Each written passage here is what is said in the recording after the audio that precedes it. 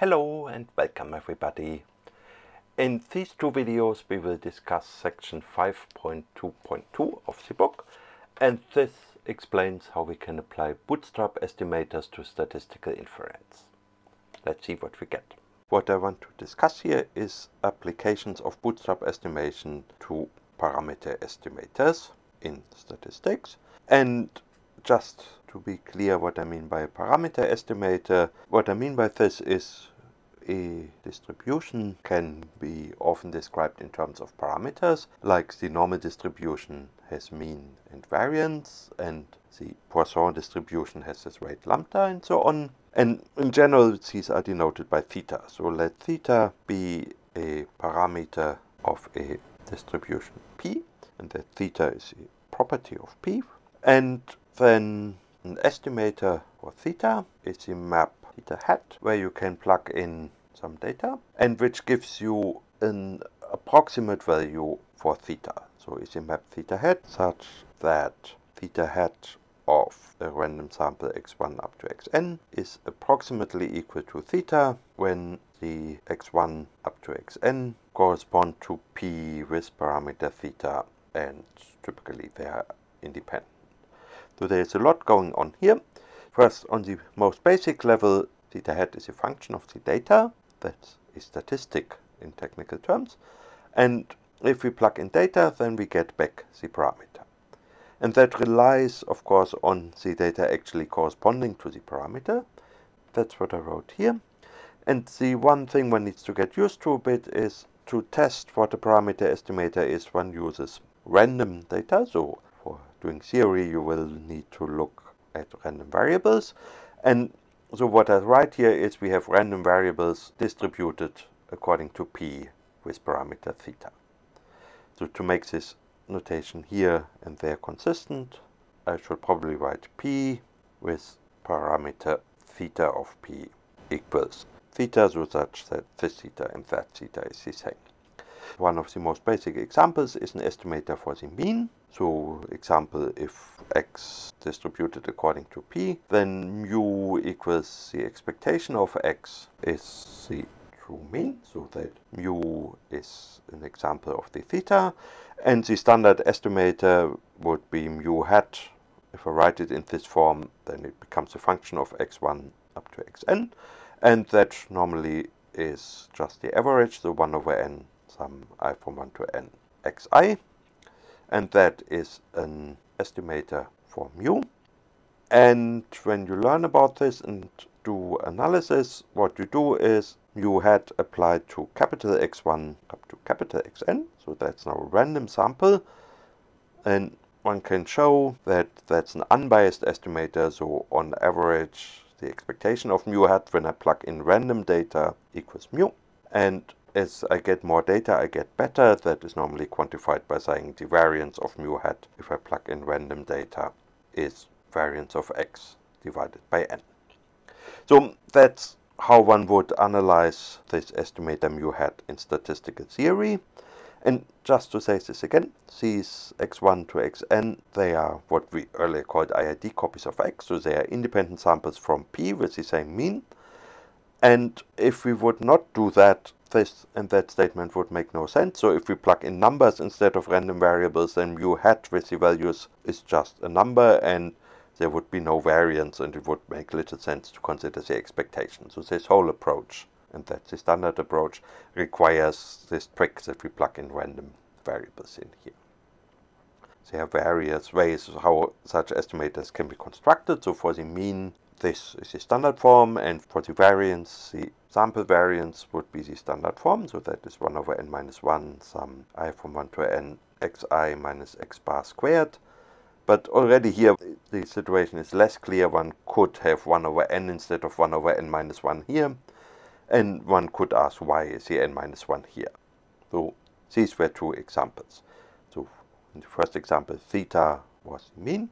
For the second example, theta was the variance, and for both cases, they are standard estimators. But for general parameters, like if you have more complicated distributions which are characterized by the kurtosis or by some rates or I don't know what, then often it's not entirely clear what is the correct estimator. And there are various recipes how you can construct estimators. There are maximum likelihood estimators and so on.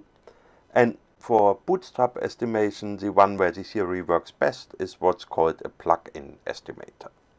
So let's just write that definition. The plug-in estimator for a parameter theta is given by theta hat of x1 to xn equals theta of px star, where this x stands for x1 up to xn. So what does this mean? So first, this symbol px star we have seen in the last group of videos. That is the empirical distribution of the data x1 to xn. So if we evaluate a plug-in estimator for given data, the first thing we need to do is we need to find the empirical distribution for this data. And then this theta of the empirical distribution that relates to the notation here. So that means we take the corresponding parameter of the empirical distribution. So if we would be estimating the mean, then we would take the mean of the empirical distribution. If we would estimate the variance, we would take the variance of the empirical distribution. If we would be estimating the kurtosis, we would take the kurtosis of the empirical distribution, and so on. So let's just do an example. The plug-in estimator for the mean is the mean of the empirical distribution. And now we need to just think back, what did we learn about the empirical distribution? So the mean we get easiest if we take a random variable distributed according to the empirical distribution. And then the mean of the empirical distribution is just the expectation of x star. And the expectation of x star is one of the things we worked out in the last group of videos, and it was rather simple. It was 1 over n sum i from 1 to n xi, so it was just the sample average. If you think back, you probably remember the derivation was not quite as straightforward as this formula looked. We had these complications relating to repeated values, but whatever, this was the result. And now using the definition of a plug-in estimator, the plug-in estimator of the mean we get by taking the empirical distribution and then the mean of the empirical distribution. So what we get is mu hat of x1 up to xn is the mean of the empirical distribution, which is what we have just worked out, is 1 over n sum i from 1 to n xi. Does this make sense? That shows the plug-in estimator for the mean equals the usual estimator. That's good. We got back something which we know makes sense. Similarly, if we do the plug-in estimator for the variance, then we know what to do. Sigma hat squared up to x1 up to xn is sigma squared px star, so the variance of the empirical distribution, which means it's the variance of x star because that is distributed according to the empirical distribution. And that I think we have worked out, but just in case we haven't, let me just write that again. That is expectation of x star squared minus expectation of x star squared, which is 1 over n sum i from 1 to n xi squared minus 1 over n sum i from 1 to n xi in the result squared. And I'm leaving out a few steps, but you can check this. What you get here is 1 over n sum i from 1 to n xi minus x bar squared. So the logic of the left out steps is not very difficult, but it's a bit tedious. So what we got, does this make sense? It kind of makes sense, but you see it's not what I said earlier was the normal estimator for the variance. The difference is just now I got 1 over n and the normal estimator has 1 over n minus 1. So it has not this fancy n minus 1 instead of n, which is a correction people apply to make the estimator unbiased. That shows the plug-in estimator for a quantity is not guaranteed to be unbiased, but again we got something which at least makes sense even if it is not unbiased. Good, so that is what a plug-in estimator is. Using this notation there are two different things I want to show you. And the first one that corresponds to section 5.2.2.1 is the bootstrap estimate of the bias. So let's just remember, the bias we have discussed before.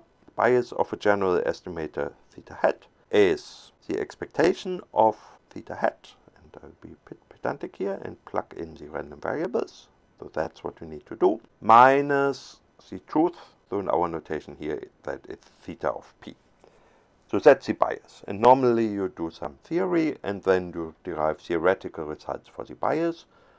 For example, the estimator for the mean we discussed is unbiased, one can show. And the standard estimator for the variance, which I showed you with the 1 over n minus 1, is unbiased. And the one with the 1 over n we have just seen has a slight bias. It slightly underestimates variances.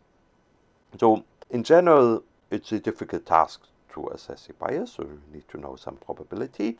And I want to show you how one can estimate the bias from data using bootstrap estimation. So aim is estimate the bias from data.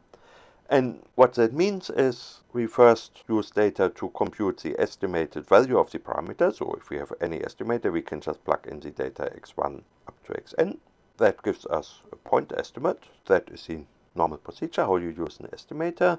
But the new thing will be that at the same time we want to estimate the bias of the estimator. So the notation I will use later will be bias hat star and we will learn how we get this expression. That will be an estimate for bias theta hat. And if you think about it this way, that seems pretty miraculous that that can be done not only do we get our estimate, but in case we have a maybe not so good estimator, we need to worry about bias, and somehow this method promises to give you a handle of the bias at the same time. And you can guess that is maybe too good to be true, and really one needs an extra assumption. So the assumption one needs here is that theta hat is a plug-in estimator. That gives us a bit of extra knowledge to work with, and it turns out, I will show you, this is enough to get an estimate of the bias together with the estimate of the value itself. So let's see what we can do. So we need to remember the bootstrap principle from the previous lecture. The bootstrap principle tells us how do we obtain the bootstrap estimate of any quantity and it consists of three rules. The first rule is random variables are replaced with bootstrap samples, so samples from the empirical distribution. Any reference to the distribution itself is replaced with a reference to the empirical distribution and as a consequence of this, any expectations are replaced with expectations with respect to the empirical distribution. So if we apply that to the bias, the bias of theta hat is expectation of theta of x1 up to xn minus the parameter of the distribution. So if we apply the bootstrap principle, then we get our bootstrap estimator of the bias and the rules are expectations are replaced with expectations with respect to the empirical distribution. So we get this here. Then the theta is a function, nothing we can do but the x1 to xn are replaced with the bootstrap sample. So that is x1 star up to xn star. And here is one last substitution to make. We can only see this because I used my somewhat non-standard notation. The parameter is a property of the distribution. So I wrote theta of p to say we are looking at this parameter of the distribution p. And I did this for the next step, namely here this p needs to be replaced with a px star. So we take the same parameter, but the rule said every reference to the distribution of the x is replaced with a, with a reference to the empirical distribution. So here, when it says the mean of p, we need the mean of the empirical distribution. In general, if it says parameter theta for p, we need parameter theta for the empirical distribution. Good. So that is just formalistically applying the rules we have learned for bootstrap estimators to the definition of the bias. And now you can already spot how we can use the assumption that theta hat is a plug-in estimator. Let's just remind ourselves what that means. A plug-in estimator is determined by taking the parameter in question of the empirical distribution. And that's exactly what's happening here. We have a parameter of the empirical distribution. So that thing here is the plug-in estimator. So here we can write theta hat of x1 up to xn. And I've just spotted I have forgotten a few hats here. These thetas are all the estimator whose bias we are testing. So theta hat here, theta hat here, theta hat here. And this new theta hat comes since we know theta hat is a plug-in estimator, so we know that must equal this. Good, and that is already the definition. So the bootstrap estimator of the bias is this, rather the second line. And now there is one more step to do, namely that is one of the cases where often it is difficult to work out that expectation. In theory, we have all the knowledge to do that because these are distributed according to the empirical distribution of the data, and we assume we have the data. But in practice, that could be a complicated function of n independent copies of this data, so that's not so easy, and we do what I said at the end of the last lecture. We estimate that using Monte Carlo. So in case this expectation cannot be evaluated analytically, we use a Monte Carlo estimate. And then we get bias hat star of theta hat is 1 over n sum j from 1 to n theta hat of and now I need lots of these so I pop a j here and a j here minus theta hat of little x1 up to little xn. And here we need to generate little n times capital N IID samples from the empirical distribution. So where x i upper star j from the empirical distribution are independent and identically distributed for i from 1 up to little n and j that's the index for the Monte Carlo sample from 1 to capital N. This is what people use. So let's have just a quick experiment in R to try that out. First thing we need to do is to pick an estimator and we know for that to work we need to pick a plug-in estimator and here I want to use the one we just derived namely the plug-in estimator for the variance. So that as a function of x so n is how much data do we have? Then we need the mean that was x bar in the formula. And then we need to return the sum of x minus m squared and that thing is divided by n. So this is our plug-in estimator for the variance. Let's just try that out. If I take, say, 100 values, then theta hat of x gives 1.3. Let's try that again. 0.99, 1.05. And what I want to do is, I think I want to do a quick histogram just that we see what we get. So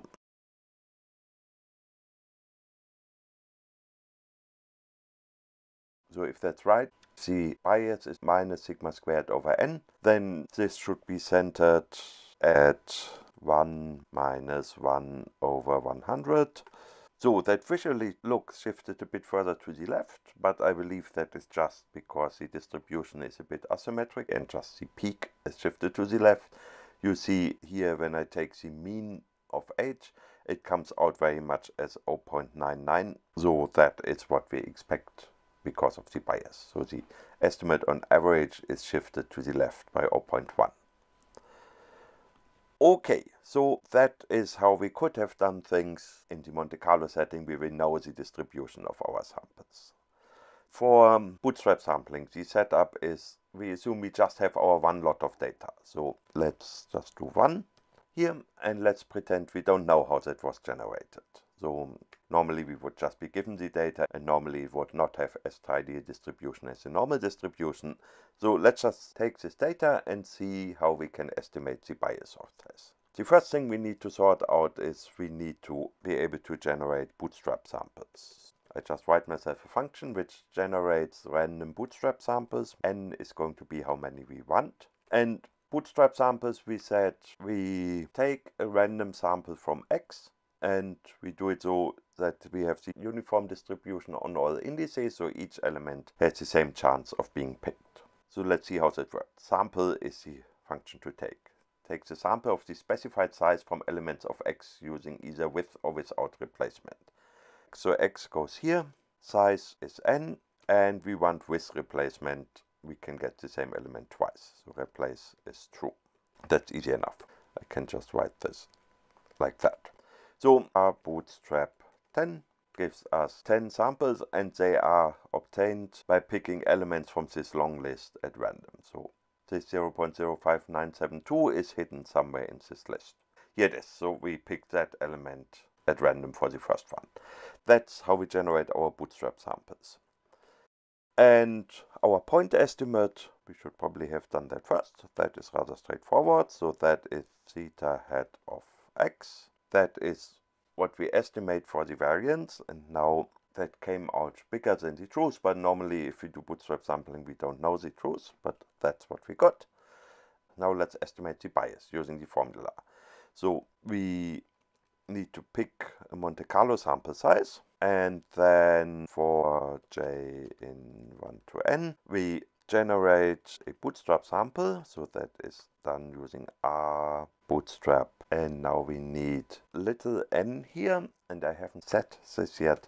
Let's set this to 100 and then we do theta hat star maybe which is theta hat applied to x star.